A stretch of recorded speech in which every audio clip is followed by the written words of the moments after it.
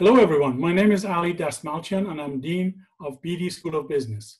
On behalf of everyone at the school, it's my pleasure to congratulate you on successfully completing your studies and earning your new qualifications. While we are facing an uncertain future, the skills you've learned here will serve you well as you move forward. Convocation is always a special occasion, and I feel as disappointed as you do that I won't get to see you cross the stage this year. The team at SFU Beedie has been working hard to provide a special virtual experience this year. While it may not be what you were expecting, I hope you will enjoy the occasion. As you mark this achievement, I hope you can reflect on an enjoyable and rewarding experience at SFU Beedie. You have learned new skills, tackled new challenges, and built network that will serve you for life.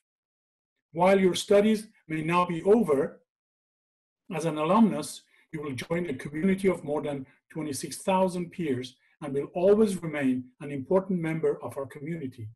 I encourage you to remain in touch with us and with the network you have established here and to participate in many programs and services available to our alumni.